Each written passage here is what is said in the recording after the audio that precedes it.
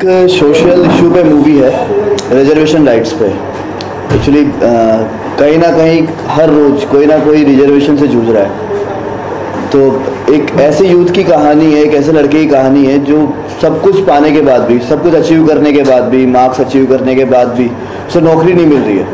Because of reservation तो ये उसी की लड़ाई है। रिपोर्टर का कैरेक्टर प्ले कर रही हूँ, और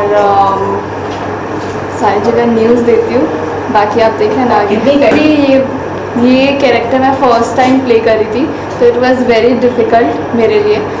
तो बहुत ज़्यादा तैयारी की थी इसके लिए। और अ, सब कुछ यू नो डिटेल्स में जानना पड़ता है। और फिर आप लोग सब कुछ बोल भी नहीं सकते व्हेन आप रिपोर्ट कर रहे हो। तो आपको बहुत ज़्यादा स्टैटिक होना पड़ता है।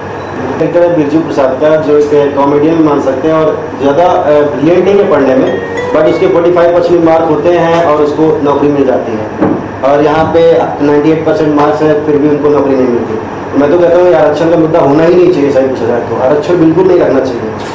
ये कॉलम ही हटा देना चाहिए फॉर्म से कि आरक्षण के लिए। आपका फोर्टी फाइव परसेंट तो आपको जॉब मिल जाए और यहाँ पर पढ़ाई लिखाई करके एट्टी परसेंट आते मार उनको जॉब नहीं मिलती। मेरा मानना यह है कि कोई भी आरक्षण आरक्षण से अगर कोई डॉक्टर बना है तो वो खुद अपने बेटे का इलाज नहीं करेगा या कोई भी इंसान किसी भी आरक्षण की डिग्री लेकर कोई भी कोई चीज़ अचीव करिए तो उससे कोई काम नहीं कराएगा। लेकिन टोटली फ़िल्म जो है, वो हार्दिक पटेल के ऊपर नहीं है।